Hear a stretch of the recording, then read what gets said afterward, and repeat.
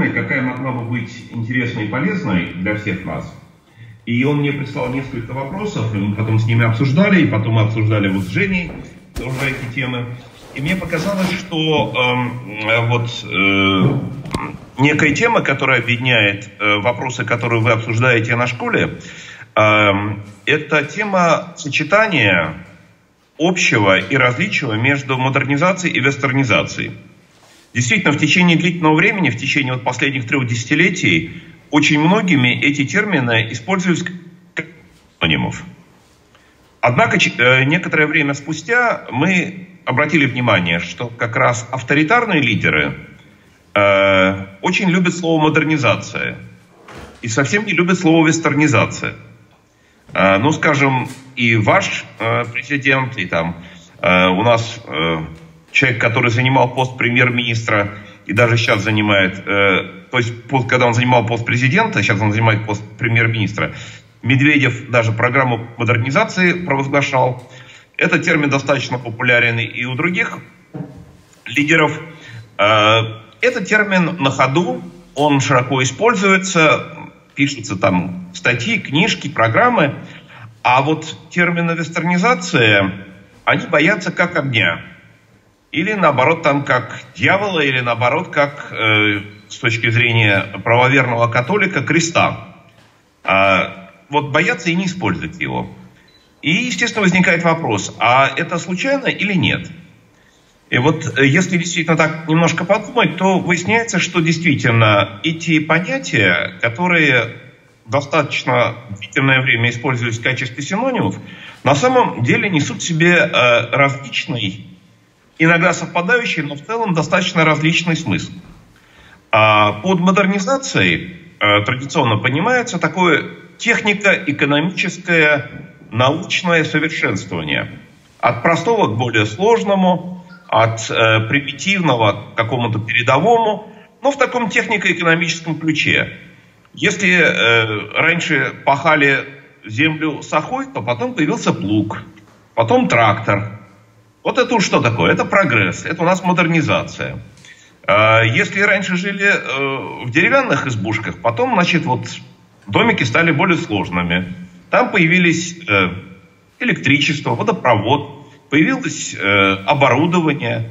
Это все такое модернизация. Ну и так далее. Можно продолжать эти примеры, они кругом.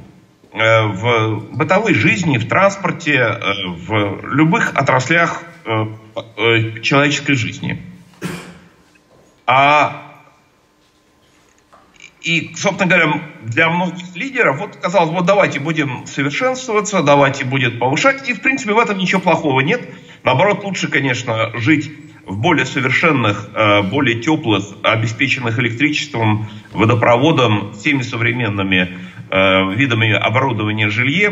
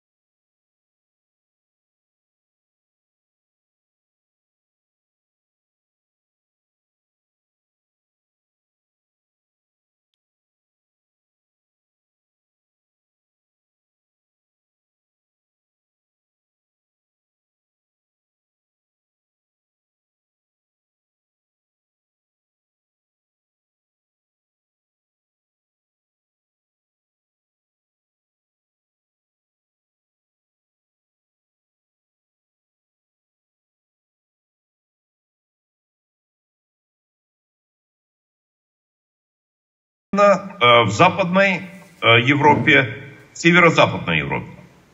И возникает вопрос, а, и, кстати говоря, она не возникла ни, ни в каком другом месте, она возникла в одном месте мира. Вот в том виде, в котором мы знаем. И возникает вопрос, а что же такое э, вот происходило в этой части мира, и почему именно там возникло то, что мы стали уже потом называть модернизацией?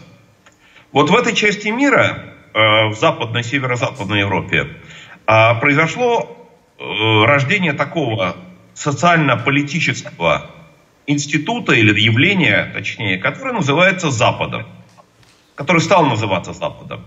Понятно, что поначалу оно стало называться чисто географически, потому что это находилось э, на западе Евразийского континента по сравнению с тем, что было на востоке. Но сейчас э, уже наряду с географическим понятием, и уже почти не только географическим понятием, это стало использовать чисто как социально-политическое, отчасти экономическое, отчасти, может быть, какое-то военное э, понятие. Что из себя представляет Запад? Запад представляет, с моей точки зрения, э, я долго думал и пытался понять, что же из себя представляет вот этот Запад. И мне кажется, есть семь великих открытий социально-политических и даже социальных и политических институтов, которые были изобретены, придуманы вот в этой части мира, а, которых не придумал ни один другой народ, ни одно другое общество, а, и откуда эти институты стали распространяться по а, остальному миру. Значит, это не обязательно будет исторически, но по содержанию. Значит, первое, самый главный такой институт, это институт называется индивидуализм и гуманизм. Вот это совершенно э, западная, э, западный институт, придуманный а что касается гуманизма, а, в 15 веке, начинается в 15 потом в начале 16 века в Северной Италии, и потом распространяется. И основой появляется индивидуализм признания человека, отдельного человека в качестве отдельной ценности. До этого а, даже в Европе ценностью считалась либо семья, либо община, либо клан, либо племя, а, либо, скажем, в рассвет э, католицизма, собственно говоря, все сообщество христиан верующих. И по сравнению с тем, что было до того, это был просто радикальный прорыв понимания того, что отдельный человек представляет собой ценность. Даже не семья, даже не а, какая-то маленькая ячейка, отдельный человек. И именно этого отдельного человека надо защищать, надо лелеять, надо беречь, и надо позволять допускать э, у этого человека разнообразные свободы. Свободы высказывания, свободы действия, свободы мышления и прочие э, свободы. Это первый институт. Второй институт – это юридическое или правовое равенство людей. А, может быть, для нас сегодняшних это кажется совершенно естественным, нормальным и понятным, но это совершенно недавний институт, и во многих э, странах и обществах мира этот институт не является столь очевидным и столь понятным. Ну, может быть, даже и некоторые люди в наших странах также не считают э, юридическое равенство людей совершенно естественным зависит от того, неравенство устанавливается либо от того, у кого сколько земли, либо у кого сколько богатства, либо кто какую позицию занимает по административной э, иерархической э, лестнице. А, третий, э, третий институт, придуманный Западом, это право, или даже точнее, может быть, верховенство права, базирующееся на справедливости. А, все человеческие общества э, руководствуются той или иной правовой системой, но во всех остальных обществах, кроме западноевропейского, э, правовые системы базировались на положении э, босс, начальник, король, император, султан, шах, кто угодно, является создателем законов. И собственно говоря, то, что сказал э, вот этот руководитель такого, того или иного общества, является законом для всех остальных людей, подчиненных ему. А Европа, Западная Европа, а, придумала совершенно новую правовую систему, в соответствии с которой, независимо от того, какую позицию ты занимаешь в обществе, на каком месте в иерархии ты находишься, независимо от того, какое у тебя богатство, или какие у тебя прошлые заслуги, или нынешние заслуги, правовом отношении все люди равны. Понятно, что люди по всем другим параметрам э, отличаются. Кто-то выше, кто-то ниже, кто-то э, умеет одно, кто-то умеет другое. Но в правовом отношении, по, э, с точки зрения прав, э, свобод и, с другой стороны, с точки зрения обязанностей, люди э, все равны. Это было третье изобретение. Четвертое изобретение – демократия. Демократия – более раннее изобретение, но э, это изобретение стало более или менее широко распространенным только с начала 20 века даже в Европе, э, когда она стала действительно распространяться на подавляющее большинство э, членов общества. Пятое, пятый элемент – это разделенная власть. А, власть представительная, ставшая законодательной, а власть исполнительная, власть судебная. А, э, шестой элемент – это то, что надо атлантизм. Это военно-политический, военно-политический союз, потом он частично стал экономическим союзом политических свободных стран. Начало атлантизму положила Атлантическая хартия 1942 года, подписанная Черчиллем и Рузвельтом. Меня видно? Еще? Свет выключился. Да, свет выключился. Ну, ничего, ничего страшного, без света. Еще более мистический. Да. Мистический будет, да? да? Хорошо. Вот. И последний, седьмой элемент – это международная защита прав человека. Это последняя концепция совсем новая, совсем свежая. Она, по сути дела, введена в мировую практику в 90-х годах 20 века. А, ну, 20-25 лет тому назад. А, когда, в отличие от принципов Вестфальского мира,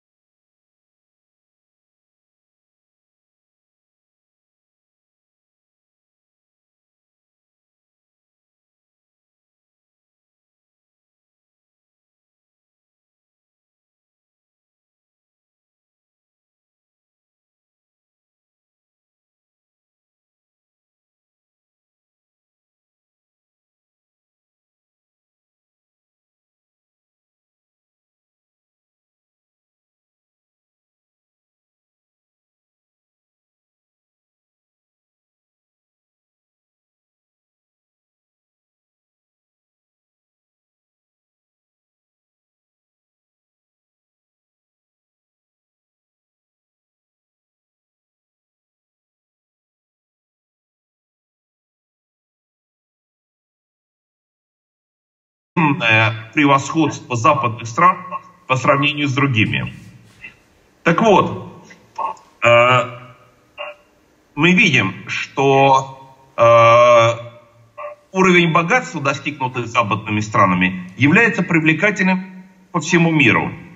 Уровень э, военной силы, военного могущества является привлекательным по всему миру. Уровень э, научных достижений, научного развития является привлекательным. А вот э, э, развитие вот этих западных институтов является непривлекательным, потому что для лидеров авторитарных стран это является концом их господства. И поэтому э, эти лидеры выступают жест, жесточайшим образом против распространения э, западных принципов, против вестернизации, политической, правовой, э, идеологической вестернизации в своих странах. К чему это ведет? Это ведет к тому, что если лидеры а, а, проводят последовательную модернизацию, техническую модернизацию, они действительно могут достигать определенных успехов в течение какого-то времени. Однако этот путь является ну, по историческим меркам относительно коротким. Он заканчивается либо с уходом того или иного лидера, либо может закончиться даже раньше ухода этого лидера, а, потому что если у него изменились представления, останавливается прогресс. Вот, например, а, в России а, первые 10 лет, даже меньше, наверное, первые 9 лет президентства Путина были очень высокие темпы экономического роста. Российский ВВП удвоился, среднегодовые темпы роста были 7%. А последующие 11 лет, с 2008 года до сегодняшнего времени, экономического роста нет, стагнация. Изменение настроений, взглядов, представлений, интересов первого лица привело к совершенно к радикальному изменению э, чисто даже в экономической политике, не говоря уже о, э, об отношении к правам человека и международному позиционированию. Иными словами, в авторитарных странах без вестернизации Модернизация может быть, это не исключено, но она является короткой и неустойчивой, может быть остановлена в любой момент. Второе ограничение э, модернизации в невестернизированных странах заключается в том, э, э, что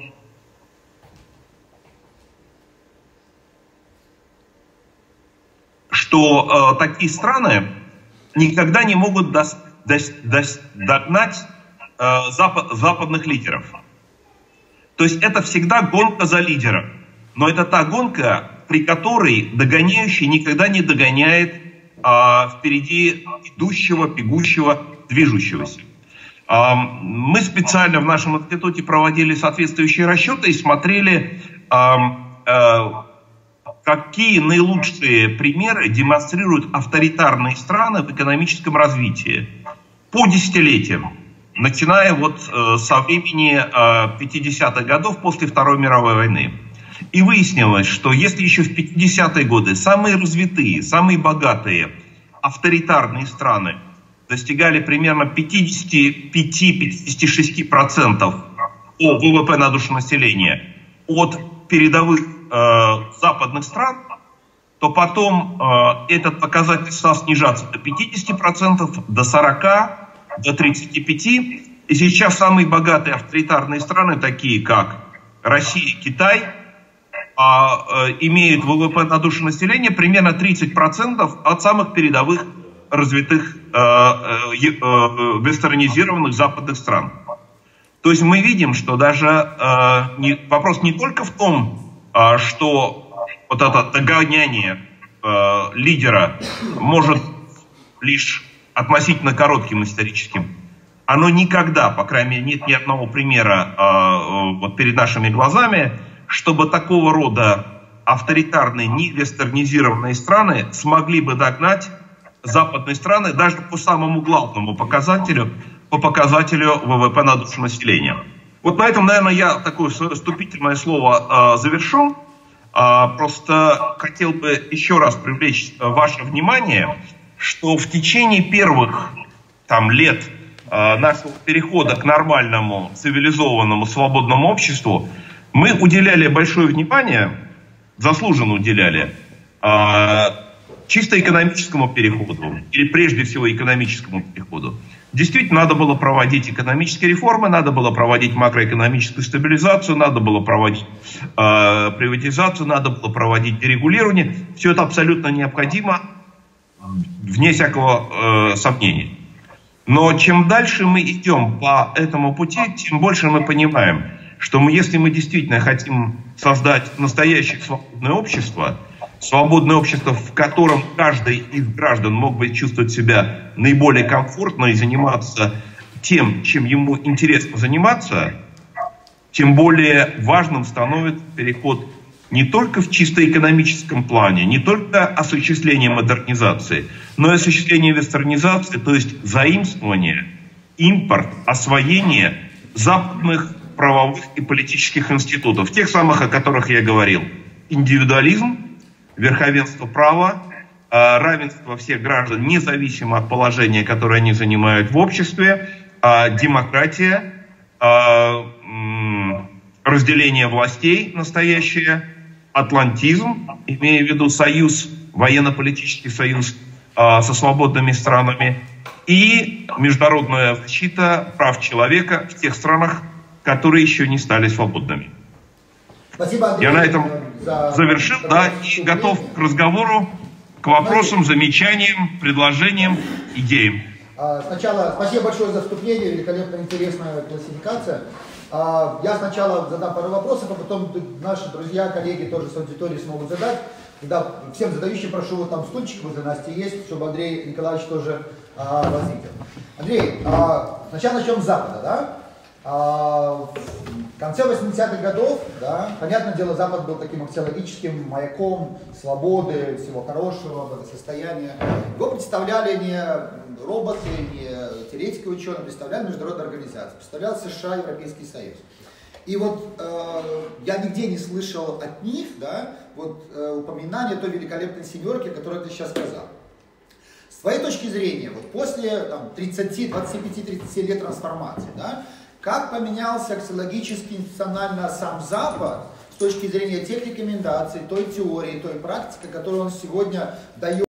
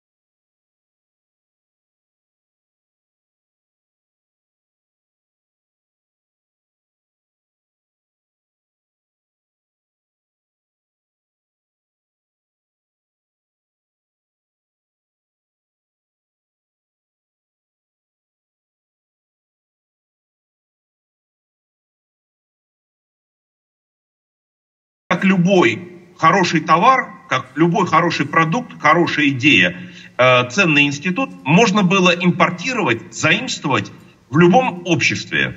И даже если этот институт пришел из Запада, после этого он становится институтом любого другого общества, независимо от того, где он находится. И таким образом этот институт может прижиться, укрепиться и развиваться, и в том числе развиваться, видимо, не менее успешно, чем в других частях света. Поэтому, если мы говорим о лидерах, то э, лидеры, последние лидеры чисто вот старого Запада, которые достаточно четко артикулировали эти ценности, это э, Маргарет Тэтчер и Рональд Рейган. Соответственно, ну это уже получается там 35-40 лет тому назад. А после них таких ярких людей, которые бы столь последовательно бы отстаивали эти ценности, на Старом Западе ну, трудно назвать. Зато появились другие лидеры, ли, э, другие лидеры в других странах, которые на самом деле хорошо понимают это. Может быть, они не перечисляют эти ценности институты так, как это сделал сейчас я, но в голове у них эта концепция существует. Например, Барт Лар, премьер-министр Эстонии. У него в голове вот все эти э, принципы лежат очень хорошо, и в своей практической деятельности он это э, проводил. А президент Эстонии, э, буквально, по-моему, в прошлом году завершивший свой десятилетний срок, Томас Ильвес. Абсолютно человек, который очень тонко это чувствует, неоднократно говорил на эту тему, выступал и проводил соответствующую политику от имени Эстонии. А Михаил Саакашвили в Грузии, страна, которая традиционно никоим образом к э, историческому Западу, географическому Западу не относится, но в своей политике преследовал именно эти, эти самые подходы. Ну и не только Михаил Саакашвили, и э, э, Каха Бендукидзе, и Ивано Бербишвили, вот эта великолепная тройка, которая делала грузинские реформы. Они это прекрасно все это понимали. И мы сейчас видим, что как раз э, не обязательно быть э, на Западе, физи- географическом Западе, на Старом Западе, э, для того, чтобы овладеть этими идеями и, преврать, э, при, и притворять их в жизнь. Мы знаем, что на географическом Западе были совсем другие граждане. Там был, между прочим, Адольф Гитлер, там был Бенито Буссолини, там сегодня есть такие товарищи, как Шредер или Берлускони, там есть такая гражданка, как Ле Пен и многие другие, которые никакого отношения к вот, э, правовым политическим институтам Запада не имеют. То есть это говорит о том, что сам факт нахождения, физического нахождения на Старом Западе не дает никаких гарантий, что э, какие-либо политические, просто политики, там, государственные деятели, лидеры автоматически воспримут эти идеи. На Западе, на Старом Западе, как и в любом мире, всегда идет борьба. Борьба идей, борьба э, партий, борьба политических институтов. И э, отражением этой борьбы является то, что э, одни лидеры берут на вооружение эти принципы, а другие нет. Ну, например, мы знаем, что там, вот, например, я говорил про гуманизм, который э, возник в Италии, в Северной Италии э, в 15 веке. И Леон Альберти первым э, мыслителем, который обосновал принципы гуманизма. Прошло несколько десятилетий, и э, в Италии наступила контрреформация, э, был проведен э, Тренский собор, и э, Ренессанс, который подарил и Италии, и всему миру эти великолепные образцы искусства, от живописи до скульптуры, до архитектуры и до идей, был подавлен. И Италия затем на несколько столетий погрузилась, в общем, такое спящее болото. Можно приводить немало других примеров. То, что произошло в Германии в 20 веке, несмотря на то, что Германия была э, и продолжает оставаться одной из наиболее развитых э, стран Европы, э, с огромным количеством выдающихся э, специалистов, ученых, э, мастеров искусства во всех сферах жизни. Тем не менее, и э, мрак э, может наступить и даже в такой стране. Поэтому мы, отдавая должное тому, что было сделано э, западными людьми, поскольку они создали институты, э, в общем, не обязаны, как бы так сказать, поклоняться э, именно конкретному сегодняшнему Западу его лидерам, мы должны ценить те институты, которые были созданы. И независимо от того, кто создал iPhone или компьютер, или, как, или шахматы, или там арабскую письменность, или э, арабские цифры, мы понимаем, что цифры, которыми пользуемся, созда, э, создали арабы. Они очень удобные. Мы прекрасно ими пользуемся, отдавая должное тем людям, кто когда-то в свое время их создал. Мы понимаем, что современная письменность птицами в шестом, э, скорее всего, тысячелетии до нашей эры. Вот, мы не помним, может быть, даже о них. Но вот они создали, мы им этим потому что это комфортно, потому что это дает нам э, вот то, чего не дают иероглифы или какие-то другие способы э, передачи информации. Также с этими институтами. Да, они были созданы на Западе, они автоматически так называются западными, но пользоваться ими может э, любое общество. Андрей, ну, например, такой институт, как МВФ, Всемирный банк, Бреттон-Вудская система, э, другие организации созданы людьми, причем мы знаем теоретиков, которые стояли за ними. И вот 75 лет прошло с Бреттон-Вудской системы. Ключевой элемент, так или иначе, для многих стран это деньги. Да? И деньги в понимании сегодняшнем радикально отличаются от того, что было вот в таком классическом индивидуалистическом Западе, когда был золотой стандарт, когда это было, собственно, институтом деполитизированным. Да? И вот сегодня, когда идет волна децентрализации попытки, там разные эти вот э, крипто валюты, да, значит, центральные банки, правительство, они достаточно ну, ну, серьезно озабочены этим вопросом и не хотят отпускать монополию на деньги. С этой точки зрения, вот э, клэш сегодня между Левиафаном в авторитарных странах, э, big government в западных странах территориально, э, куда он может вести, исходя из того следующего, какого теоретическое поле, какой э, уровень образования и Э, скажем, э, направление мыслей в западных университетах, каково мнение людей и полисемейкеров в авторитарных странах. Потому что я просто хочу понять, где могут быть те очаги. Либо это бизнес, либо это гражданское общество, либо это международные некие организации, там, децентрализованные, которые могли бы вот эту вестернизацию так или иначе поставить повестку дня. Ну вот я еще раз просто скажу, что э, Запад породил ведь не только эти замечательные институты, Запад породил и э, весьма отвратительных тиранов. И того же Гитлера, и Муссолини. Ну, в общем, э, если мы считаем Российскую империю, принадлежащей там в целом к европейской цивилизации, то, в общем, Сталин тоже, э, можно сказать, в какой-то степени относится к этому. А если говорить об идеологиях, то, в общем, Карл Маркс тоже э, не из Азии появился, а из самой, на есть, европейской страны Германии, и писал и творил он в Лондоне, самом богатом, самом развитом, самом передовом месте э, тогдашнего мира. Поэтому и такие идеи, как Международного валютного фонда или э, э, регулирования, национального регулирования, государственного регулирования тоже порождается на том же самом Западе. Еще раз скажу, что э, нам важно брать не то, что плохое создается на Западе, а то, что было создано хорошего. Это уж выбор. Что же касается того, э, где, э, что касается идей, ну, мы знаем, что на западных университетах, э, к большому сожалению, в последние несколько десятилетий, прямо скажем, торжествует марксизм. Причем марксизм очень такой совершенно отвратительный. И марксизм, и социализм. Нахожусь в Соединенных Штатах, и здесь поражаюсь, насколько идеи, которые опровергнуты жизнью в наших странах, которые, идеи, которые у нас сейчас не воспринимаются в таком виде, ну, никем, кроме, может быть, там 10-15% населения, а в, например, в Соединенных Штатах, в университетах Соединенных Штатах преподаются, ну, наверное, в 90% случаев. Это очень опасная ситуация. Просто люди этого не понимают. И люди э, с э, абсолютно откровенным э, социалистическим сознанием имеют реальные шансы, например, баллотироваться на пост президента Соединенных Штатов Америки или э, претендовать на пост премьер-министра Великобритании. Это реальность, это реальность сегодняшнего дня. Это, конечно, не времена Тэтчер и Рейгана. Вот. Но, опять-таки, э, наш выбор заключается в том, чтобы э, брать на вооружение правильные идеи, независимо от того, если даже Запад, сегодняшний Запад, погружается в эту самую трясину.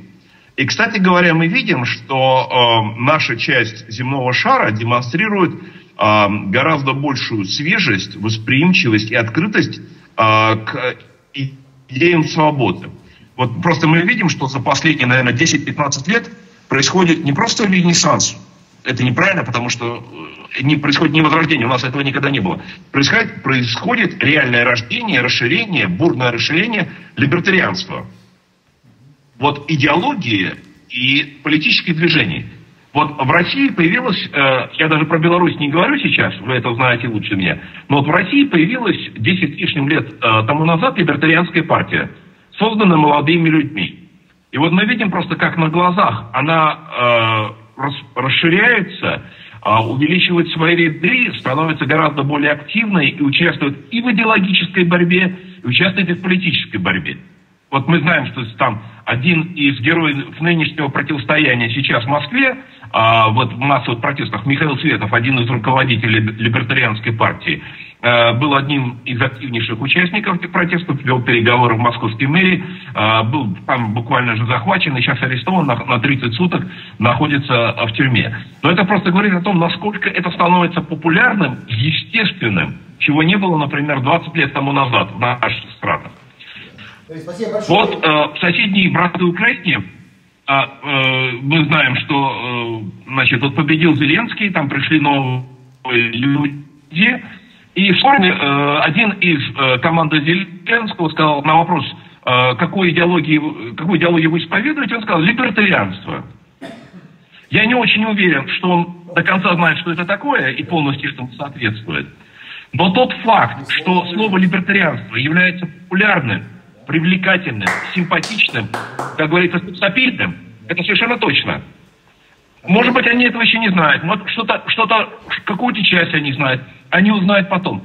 Но это свидетельство того, насколько идеи свободы в нашей части э, планеты, в нашей части Европы являются популярными, становятся еще более популярными.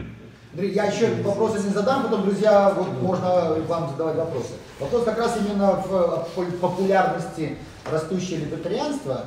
И э, в начале 90-х э, тоже были люди, которые называли себя либералами, демократами, Запад, э, были политические движения, собственно, и мы все их знаем. Это были и в Украине ребята, и в России. Ну, в Беларуси таких не было, честно говоря, сразу в этом плане мы честнее. А, и вот вопрос функции э, тех людей, которые тогда говорили про вот эти клише, да. И сегодня, э, когда вот я слышу в Украине многие говорят либертарианство, э, они, вот как правильно ты абсолютно оценил, не понимают, о чем идет речь, потому что они выхватывают некие там, информационные потоки и приписывают их себе, пользуясь, популяризируя, там, занимаясь популизмом. А, как сделать так, чтобы не допустить или минимизировать риски вот этого сислипства, которое есть в России, которая была, и Порошенко себя позиционировал, ты знаешь, либо либералом, и Ющенко был либералом, и, собственно, кроме как разговоров об этом, Дальше дело не пошло ни институционально, ни политически, ни в экономической политике. То есть как, что нужно делать для того, чтобы вот эта э, чистота э, явления и теоретических основ не разрушилась людьми, которые просто будут грязными руками их усолить потом э, через там, 10 лет скажут, ну вот Зеленский был либертарианец, либертарианство для Украины не пошло, в топку его, Лукашенко the best. Такая опасность реально существует, ты совершенно прав. А, но это всегда такая опасность существует, когда хорошие, красивые, интересные идеи а, берутся вот грязными руками. Вот та же самая идея свободы, даже без либертарианца просто сама, коммунисты же как эксплуатировали. Говорят, мы ведем э, человечество к освобождению человечества. Мы, мы знаем, куда они привели и что они делали. Поэтому Ничего другого, кроме э, традиционного ответа, предложить не могу. Рассказывать, объяснять, э, популяризировать, проводить семинары в Девятах и в других местах, вот, и в Трускавце, и в других местах. Рассказывать пользуются любым, любым случаем, любым, любой возможностью для того, чтобы наносить свою точку зрения. Ничего другого э, предложить невозможно. Спасибо большое. Друзья, вопросы, пожалуйста, э, к Андрею Николаевичу. Женя! Андрей Николаевич, я прошу прощения за то, что у нас не получилось записать интервью, но мне кажется, что это так, так и должно было быть. Сегодня должно было состояться то, что состоялось. Я сейчас позволю спровоцировать себе извечный спор между минархистами и анкапами. Минархисты, они за немножко преступления, анкапы, они за отсутствие любого насилия. Как вы для себя этот спор разрешаете, и если я буду ходить в майке, например, fuck the banks или fuck the government, это будет лучше, чем я буду говорить oh, a little, a little banks, a little government, a little violation, например. Понимаете вопрос? Что лучше? Женя, я э, вот э, вам э, отвечу не в той терминологии, которую вы мне предложили, э, предложили, вот дихотомии между минархизмом и э, ан, анкапами, да? А вот э, другая часть говорит о насилии. Вот можно ли в обществе обойтись без насилия полностью? А, по крайней мере, я могу сказать о себе. Я думаю, очень многие, вот кто сейчас рядом с вами, а, не любят насилие. И действительно, насилие очень неприятная история. Но есть конкретные случаи, в которых возникает вопрос, кто решает, кто решает эту ситуацию. Если вы встречаетесь э, поздним вечером, ночью, вы один, а вам навстречу идет э, 20 мордоворотов. Простите мой не, не парламентский, не дипломатический язык. Совершенно ясными намерениями. Если вы один, это одна история. очень неприятно, но одна история. А если вы идете с супругой, с девушкой, со своими детьми, это уже тогда стоит вопрос не только лично о вас, но о близких вам людях. Что делать в этой ситуации? А их намерения совершенно, совершенно понятные. Таких случаев, к сожалению, в реальной жизни довольно много. И они касаются не только э, вот, ситуации в темном переулке.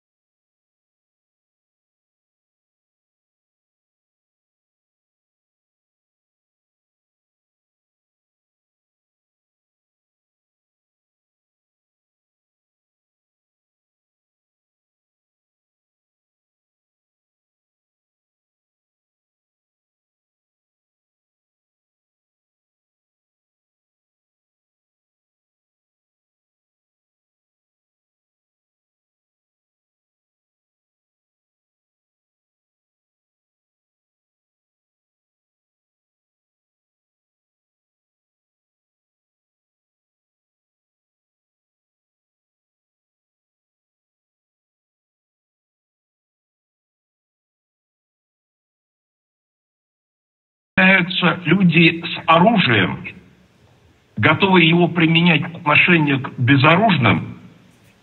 И это может быть очень маленькая группа людей, которая может легко терроризировать большие группы людей.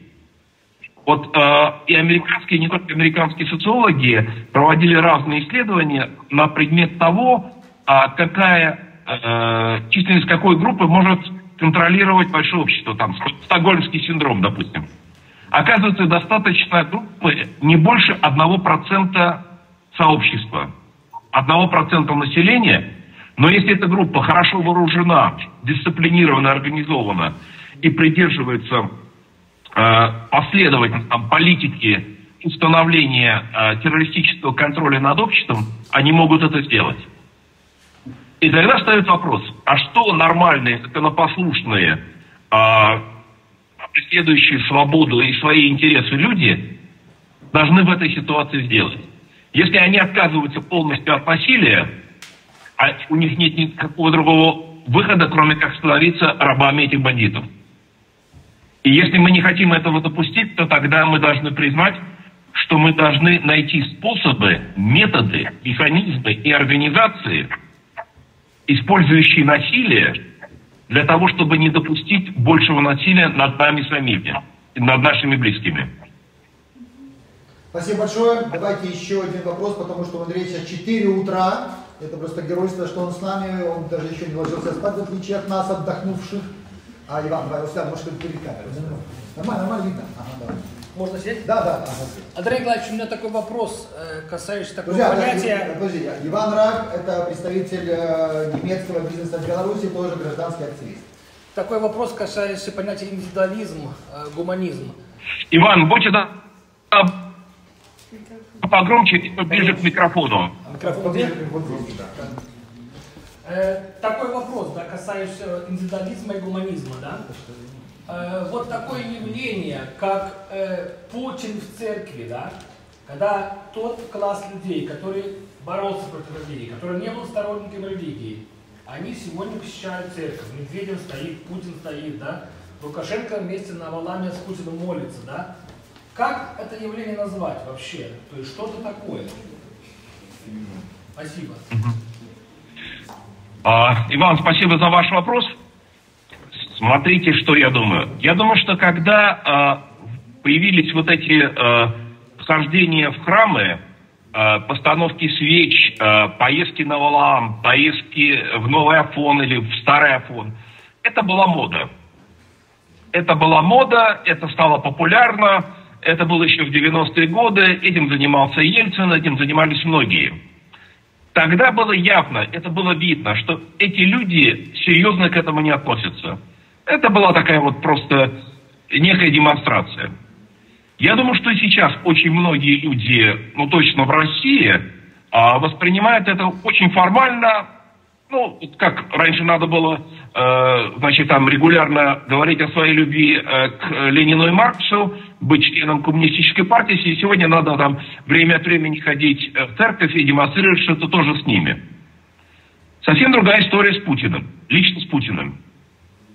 И я просто это видел э, как бы с близкого расстояния и вижу сейчас. А что с ним произошло, я не готов. Э, это, видимо, там либо доктор, либо там э, его там личный духовник будет говорить. Но совершенно ясно, что для него э, православие стало внутренним состоянием. Это ни в коем мере не лицемерие, это не ханжество. Он действительно, как бы так сказать, в общем, крыша у него на, это, на этой почве реально поехала. У нас есть огромное количество подтверждений того, что он воспринимает это совершенно особым образом. Я не буду там использовать слова, э, которые используются действительно верующими людьми, чтобы никого не обидеть. Но это факт жизни. Перед каждым крупным э, политическим решением, которое он осуществляет, он летит на валах посоветоваться со старцами. Так было накануне э, вторжения в Грузию. Так было накануне вторжения в Украину. Он реально летал туда и трое суток советовал со старцами, что надо делать или не делать. Сегодня, там, в начале 21 века, для руководителя ядерной супердержавы это кажется совершенно вообще невероятным. Это кажется фантастикой, это невозможным. Но это факт жизни. Более того, э, мы видим, как, э, я, по крайней мере, вот слежу за этим, ну так у меня работа, такая жизнь случилась. Я смотрю, как у него меняется речь. Э, насколько больше места в его регулярной речи начинают занимать православные термины. И какое место они занимают, где и когда он их использует. И это видно совершенно, что это делает он не для публики, он выражает свое собственное мнение, свое глубокое сознание – вот в частности, мы видим, что за последние несколько лет у него выработалась особая концепция, а, э, концепция э, вот, сегодняшнего мира, в котором русское православие, не вообще православие, а именно русское православие, православие русской православной церкви, играет совершенно особую роль. У него, вы, наверное, слышали э, вот это выражение про русский мир, это популярно. Сейчас у него следующая стадия. Называется историческая Россия. Под этой исторической Россией он понимает территории не только нынешней России, но и территории нынешней Беларуси и нынешней Украины, но не полностью. Украина до Сбруча, не учитывая Западную Украину, то есть даже не Западную Украину, не учитывая Галицию – в которой подавляющее большинство составляют греко-католики или так называемые униаты. Потому что они не православные, и поэтому с его точки зрения, или с той точки зрения, которую ему внушили и которую он принял, униаты не подвергаются, как бы так сказать, интеграции э, в русский мир и в историческую Россию. А вот все остальное население Украины, неважно, говорят они на русском, на украинском, это как бы легкий материал, который подвер... может быть подвергнут интеграции, освоению или, так сказать, пользуясь американским сленгом, плавильному котлу. Хотя он этого, естественно, не использует. В Белоруссии, в Белоруссии он так относится к большей части Беларуси за исключением Вишнории. Помните Вишнорию? Да, да, было такое. В прошлом году Вишнория, да. Позапрошлом году, позапрошлом году, по-моему. Учения были военные, да. И когда по замыслу, который мы понимаем, был задуман в Генеральном штабе российской армии, и который был так легко подсунут э, белорусским коллегам, они не сообразив, э, восприняли, и это они же раскрутили историю про Викторию, про э, северо-западную часть Беларуси, включая, кстати говоря, и нынешние Древяты, а, где большинство населения, больше 50% католики.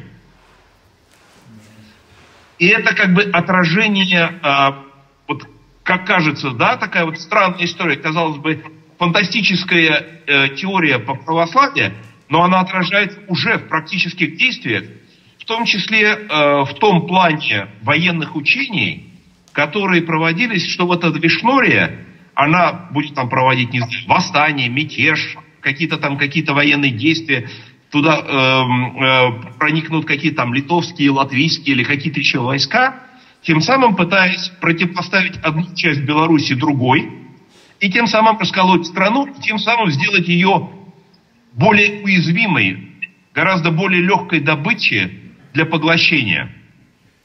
Но это отражение той самой вот идеологии, в которой православие играет исключительную роль. Роль, как это, скрепы, главный скреп, главного клея, а, соединяющего вот ту самую а, представление а, Путина русскую нацию, в которую входят русские, украинцы и белорусы, но не как отдельные народы, существование которых он отрицает, а лишь какие-то, значит, там э, группы людей с некоторыми диалектами. Поэтому то, что вы говорите, имеет вот эти две стороны. Одна сторона формальная, лицемерная, ханжеская, людьми, которые близко к сердцу не принимают. И Путин, который берет эти идеи в качестве инструмента для осуществления своей имперской политики. Спасибо большое. Последний вопрос. Э,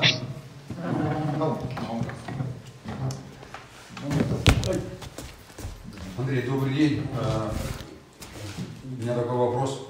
Белорусы сами по себе очень э. Добрый день, а вас как зовут? Наум. Наум. Наум Кац. А, а да. Наум. Да. А, Ну, мы с вами встречались. да, да, да, да, да. Мы же с вами общались сколько Да. в прошлый раз. Ну, конечно, добрый день, Наум. К сожалению, в прошлый раз то, что мы задумали, так и не получилось. А, Ну, Бывает, да. А, Ничего страшного. вот, э, страна Беларусь, она такая спокойная, э, больше такая приглядывающая ко всем, да.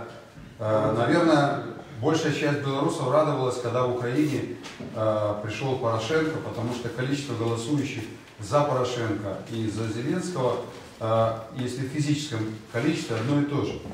Э, Я помню Украину, когда пришел Порошенко, все ликовали, э, пришел демократ, начнутся изменения. И сейчас, когда хулят, наверное, только ленивый не хулит Порошенко, э, что он вот такой нехороший, сегодня приходит опять новая волна Зеленского, да, я э, задаю вопрос с точки зрения Беларуси, да, мы ведь наблюдаем, Россия, понятно, э, очень долго один и тот же человек ведет, все более-менее стабильно, да, есть какая-то молодежь, которая что-то там бузит, что-то хочет, с точки зрения э, народа нашего белорусского. А вот Зеленский приходит к власти, опять вся Россия, Украина в эйфории, опять э, все мечтают быть рядом с Зеленским, как и с Порошенко, ему посоветовать что-то там изменить. Вот э, вы человек э, не просто политик, да, вы человек, который создавали эту Россию, ту, которая нравилась всем, да, экономически преуспевающая, э, в которую хотелось всем приезжать, работать, западные специалисты ехали, э, ну, даже когда уже ушли да, туда работать. Нам бы тоже хотелось, чтобы у нас было как в России с 2000 по 2008 год. Но мы наблюдаем процессы, которые происходят рядом. И вот, честно говоря, у всех некая растерянность. Вот вы говорите о семи принципах, да, и очень здорово звучит. А как выстроить эти принципы, когда у такой огромной страны, у, президента, у которого, как бы мы ни называли, там был переворот, не переворот, но Украина ликовала, да, и, сегодня ликует Украина. А, что происходит, какие процессы, почему, когда весь мир пытался помочь Украине, и сейчас, наверное, будет пытаться. Я уже слышал так, что давайте Ярослава э, попробуем туда к Зеленскому с советником э, поставить. Да. Я тоже был на Украине буквально позавчера, разговаривал с серьезными людьми. Они все хотят стабильности, как у нас в Беларуси.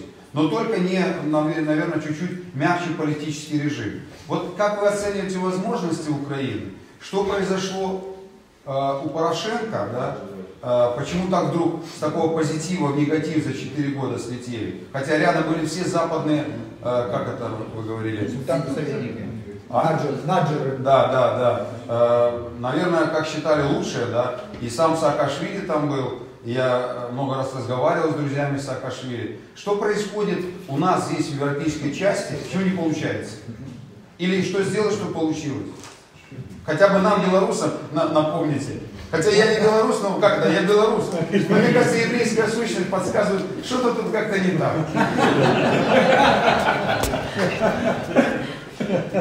Наум, спасибо большое.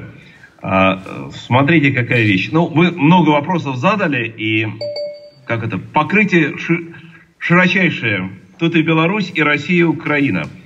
А, за все страны не скажу, и даже за одну из них будет непросто. Самое главное, что есть у Украины, э, и было и с Порошенко, и сейчас есть Зеленским, возможность смены первого лица. Вот это является исключительно важное, э, важное преимущество Украины по сравнению и с нами в России, и с вами в Беларуси. Ошибся, не понравился, сделал э, преступление и так далее. Человек уходит. Он не остается там надолго. А сам факт демократии не дает гарантии на успех. Мы много видим примеров э, демократии, когда приходят и уходят и коррумпированные люди, и с преступлениями, и абсолютно низкого морального уровня. Да, такая жизнь. Да. Но всегда у людей есть возможность не держать их бесконечно. И всегда можно убрать. Как минимум по истечении срока. А иногда, как мы видим у братьев украинцев, даже немножко раньше. Это, и это большое достоинство. А, опять-таки, это не, не гарантия э, и не панацея от всех бед, и не гарантия э, на успех. А, но э, это важнейшее качество, я про это не сказал, это про, просто относится к, э, как элемент разделения властей. Это ограничение власти первого лица. вот в Италии, э, средне, даже не средневековой, а в Италии Ренессанса, я, например, был поражен, э, насколько уставы городов, государств североитальянских ограничивали власть первого лица. А, вот того, кого они избирали. Там э, первое лицо избиралось э, гражданами, причем гражданами, которые занимались бизнесом. И выяснилось, вот, например, наверное, э, многие бывали в Дубровнике. Вы бывали в Дубровнике, наверное, да, в, Хорватии. Ну, э, такой симпатичный город, на берегу Адриатики с средневековыми стенами. Туда очень многие любят э, отдыхать, ездить и посмотреть. Дубровник – это сегодняшнее хорватское название, а это старый итальянский город Рагуза.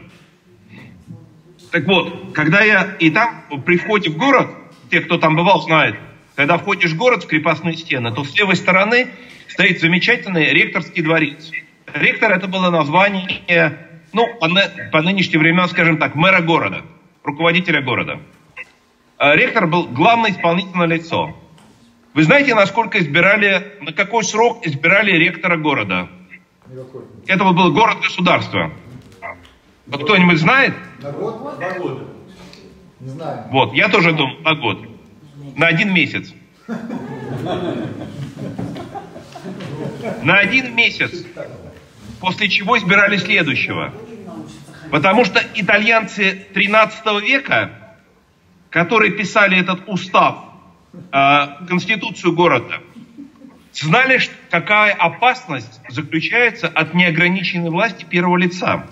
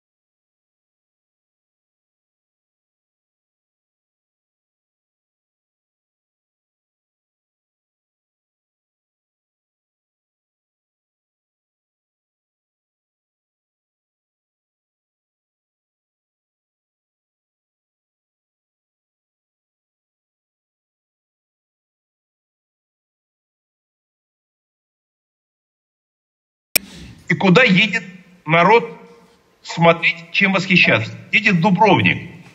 Наслаждаться тем, что построено было за эти годы, когда Дубровник был демократическим городом-государством, который создавал благоприятные условия, верховенство права, защиту прав собственности, защиту индивиду... индивидуалистического поведения этих людей. Куда мы едем? Мы едем в Венецию. Венеция, город-государство, который тоже потом э, э, распространил свое Там были дожи. Дожи избирались на один год, как вы правильно сказали. И мы смотрим на эти богатства, которые были созданы этими людьми, на богатства, которые были накоплены, на эти произведения искусства, на эту архитектуру. Почему было создано в Венеции, но это не создано в Пхеньяне? Потому что там демократия, потому что лидеров избирают и быстро пере, переизбирают. И никто там долго не останавливается. Поэтому, э, говоря об Украине, никто не может дать гарантии на успех э, Зеленскому это невозможно. Но у украинцев есть этот волшебный инструмент. Если не понравится, максимум через пять лет он уйдет. кстати говоря, первый среди э, президентов и вообще кого бы то ни было сказал, я иду только на пять лет. Я иду только на один срок. Я не собираюсь больше сидеть.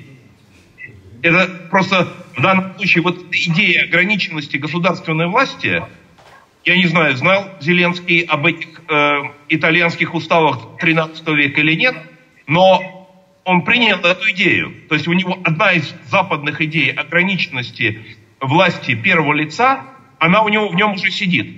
Может быть, он сам к ней дошел. Он же сам он придумал. Молодец в таком случае. Но это уже, так сказать, маленький шажок в правильном направлении. Спасибо большое. Андрей, а, Андрей, прежде всего, огромное спасибо за то время, которое ты ночное посвятил. Мы безумно благодарны тебе и а, желаем тебе успехов в творчестве и работе. И, конечно же, сделать так, чтобы твоя великолепная семерка оказалась в повестке дня Зеленского и многих других наших стран и Беларуси. Сделаем все для этого возможно. Прежде чем мы попрощаемся, Андрей, пожелания нашей школе вот э, э, я говорю, мы э, opinion makers, и мы те люди, которые продвигают идеи свободы в нашей стране. Что бы ты нам пожелал?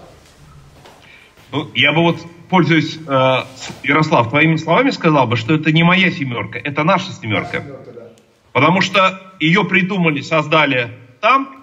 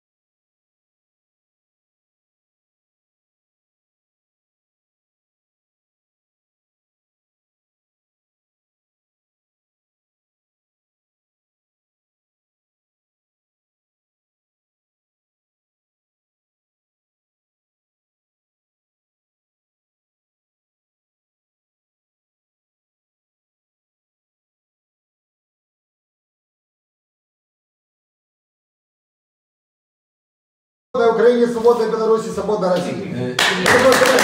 Хорошо. Удачи вам. Спасибо. Всего доброго. Все, пока. До свидания.